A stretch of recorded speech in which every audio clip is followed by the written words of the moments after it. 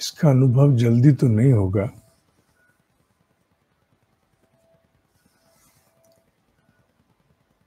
पर भले ही हम ये साधना सात आठ दिन के लिए करें,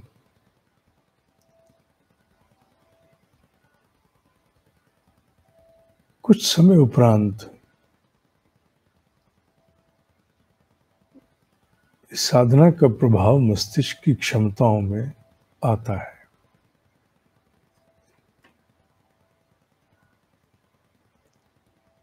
यकायक पता नहीं चलता कि मुझमें ये विकास हो गया है। मेरा अनुभव कहता है, कई बार पता लग जाता है, आरंभ में, कई बार नहीं पता लगता। जो चीज़ें भीतर विकसित होती हैं, कई बार मनुष्य सोचता है सोचता कहाँ से? अपने विषय में ध्यान भी नहीं आता। आ भी जाए तो सोचेगा। मैंने कभी ऑब्ज़र्व नहीं किया होगा, पर मुझमें एक क्षमता है। और सत्य यह है कि साधना विकसित करती है। और अधिकांश साधकों को पता नहीं चलता कि हमें इसके द्वारा क्या विकास अपने भीतर हो गया। स्वभाव को छोड़कर। स्वभाव का पता लग जाता है। पर जो आंतरिक जागरण है, वो कुछ समय बाद पता लगते हैं। एकाएक नहीं एकाएक नहीं पता लगता। आंतरिक जागरण कुछ समय बाद पता लगते हैं। मैंने पूर्व में भी सत्संग में कह रखा है, प्रातः। एक लंबा काल आत्म अनुभूति में अपने ही प्रति संशय कर जाता है। लगता नहीं है, ये मेरे अंदर विकसित हुआ भी है कि नहीं हुआ है। मुझमें ये क्षमता मस्तिष्क में पूर्व में थी कि नहीं थी। मैं, मेरे को भी ध्यान नहीं दिया। या क्या एक बड़ी धुंधली सी स्थिति रहती है।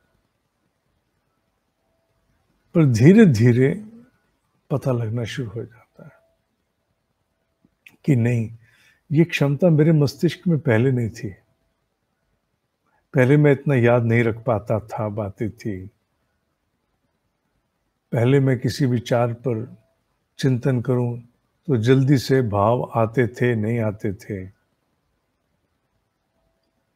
मैं किसी विषय पर सोचना आरंभ करूँ उसके विषय में पहले मुझे बहुत कुछ प्राप्त ज्ञान होता था, नहीं होता था।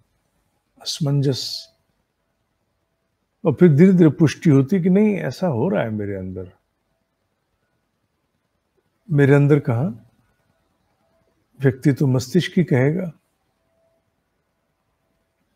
वो तो भले ही सजगता में है, पर होता है। क्षमताएँ ठीक है, साधना किसी की विफल नहीं होती। क्षमताएँ जागृत भी होती हैं, सो भी जाती हैं। क्षमताएँ, मस्तिष्क की क्षमताएँ, थोड़ी सजगता की क्षमताएँ जागृत होती हैं, फिर सो भी जाती हैं।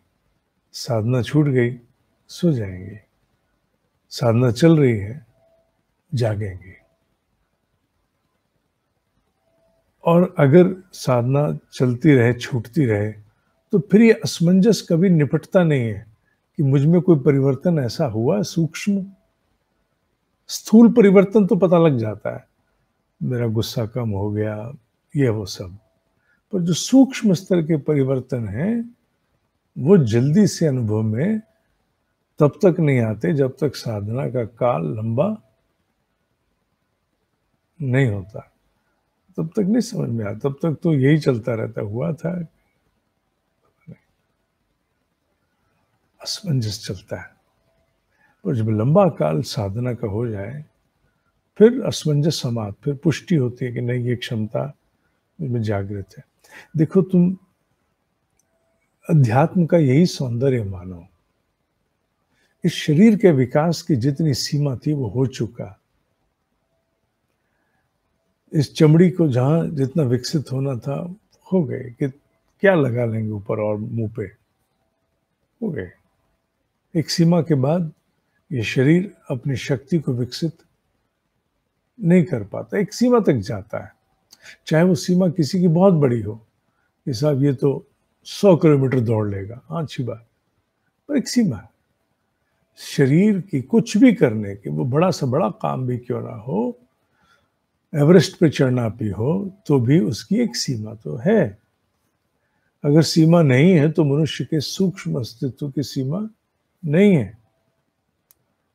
वो बड़ा अपरिमित है, असीम है वो। और वो क्षमताएँ सूक्ष्म है, जब जागृत होती हैं तो एक संशय से होके जाती है साधना उसी के लिए है। आत्मा मोक्षार्थ तुम्हारा लक्ष्य है तो पक्की बात है। तो ये साधना उसी में से होकर के धीरे धीरे क्षमताओं को जागृत करती जाती हैं। और उसमें से एक ये साधना जिसमें हम पूरे कपाल को जगमगा रहे हैं। हम कर क्या रहे हैं? हम शिखा स्थान से तो हम प्रेरणा आने वाला कार्य, ब्रह्मांडीय मन से संवाद का खेल उसे जागृत कर रहे हैं और अच्छा स्पष्ट हो जाए।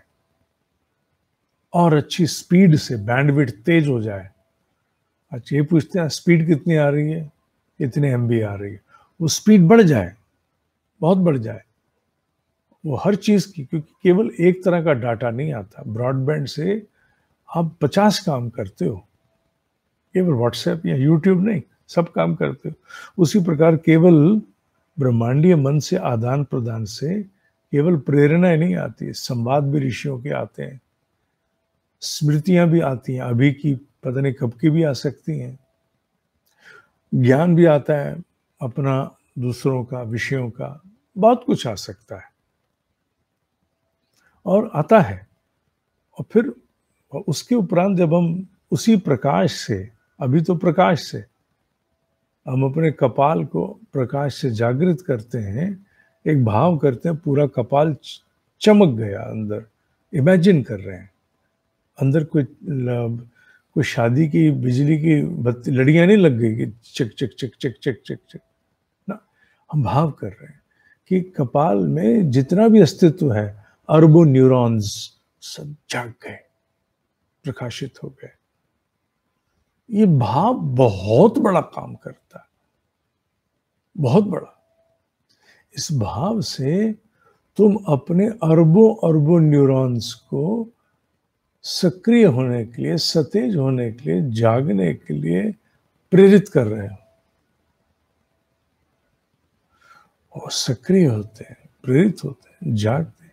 वैसे रसों का स्त्राव मस्तिष्क में से होता है। आपके संकल्प के अनुरूप, आपके भाव, आपके एकाग्रता के अनुरूप, आपके भीतर का ग्लैंडुलर स्ट्रक्चर, कई सारे हैं, एक तो नहीं है मुख्यतः हम हाइपोथैलेमस का नाम लेते हैं, वो रसों का स्त्राव करता है, अपने न्यूरोपेप्टाइड्स रिलीज़ करता है, और पूरे कपाल को जाके जगा देते हैं, पूरे कपाल जगा देते हैं। जो पूरा कपाल जागता है, उसका नगण्य प्रतिशत सामान्य जागा हुआ होता है। वो जागता है तो फिर उस समय कुछ नहीं पता लग रहा साधक को। भाव हो रहा है प्रकाशित प्रकाशित प्रकाशित प्रकाशित अरे प्रकाशित तो क्या? नहीं अभी अभी कुछ नहीं अभी प्रकाशित। अभी बस केवल एक प्रकार का प्रकाश, आनंद, स्थिरता, शांति, अब यही मिलेगा अभी। फिर बस इतना ही है। नहीं, इतना नहीं। समय रह करके इसके द्वारा धीरे धीरे क्षमताएँ भी जागृत होंगी। मस्तिष्क की क्षमताएँ। जो कुछ भी स्थूल मस्तिष्क से हम काम लेते हैं उनमें एक जागृति आएगी। रिटेंशन पावर तो बहुत बढ़ जाती है। याद करना चीज़ों को बहुत बढ़ जाता है। हाँ छुटपुट चीज़ें इधर उधर बिसरती हैं क्योंकि एकाग्रता जब एक विषय पे हो तो बाकी विषय उस समय याद नहीं होते बट पर यह बात सत्य है कि रिटेंशन बहुत बढ़ जाती है। बहुत बढ़ जाती है रिटेंशन और बहुत कुछ, और भी बहुत कुछ होता है धीरे धीरे अनुभव में आएगा। तो ये समझ साधनाएँ सूक्ष्म स्तर पर अपने प्रभाव एक समय बाद दिखाती हैं। उनकी पुष्टि होने में, साधक को कन्फर्मेशन होने में थोड़ा और समय लगता है। अगर साधना चलती रहे तो टूट गई तो फिर वो बात बनी, बनती नहीं। पा, दूध उबल रहा था, हमने गैस बंद कर दी तो उबलेगा कहाँ से वो?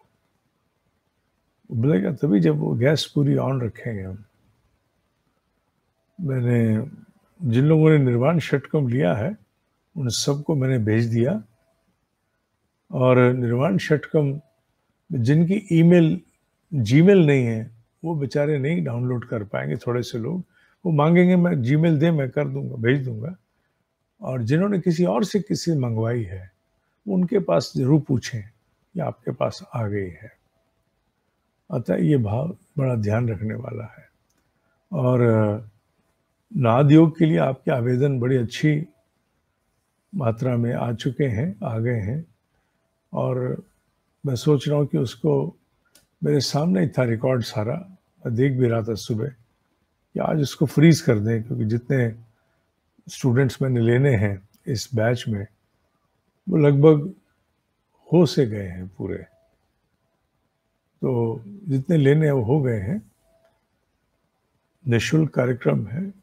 ज्ञान ऋण, आप अपनी इच्छा से अध्यापक को पूछ करके, और फिर आप जहाँ मैं बताऊँ, वहीं देंगे आप, उस रूप में देंगे, पूछेंगे, जिनको देना है, अन्यथा नहीं, अन्यथा निःशुल्क है। इसकी पुस्तक भी आपको मिलनी है नाद योग की। और एक दिन अध्ययन, दूसरे दिन अभ्यास। और संभवतः मैं आज शाम तक इसको आज बंद कर दूँगा। उसका कारण ये भी है, क्योंकि मुझे उन सब की तैयारी में भी अब जुटना है। जिन लोगों को छः घंटे बिठाना है, वो एकाएक नहीं बैठ पाएँगे छः घंटे। आहार में परिवर्तन इत्यादि तो 25 तारीख के बाद शुरू कराएँगे। पर जो अभी से बाकी थोड़ी थोड़ी तैयारियाँ हैं, वो मैं उन लोगों को जूम सेशन पे नाद की कराना आरंभ कर दूँगा। इसलिए मैं आज संभवतः अब शाम तक फ्रीज कर दूँगा जो आ गए आ गए, फिर दोबारा करेंगे, फिर आ जाएँगे, और ठीक है? ओम ही सत्य है। ओम ही सत्य है। ओम ही सत्य है।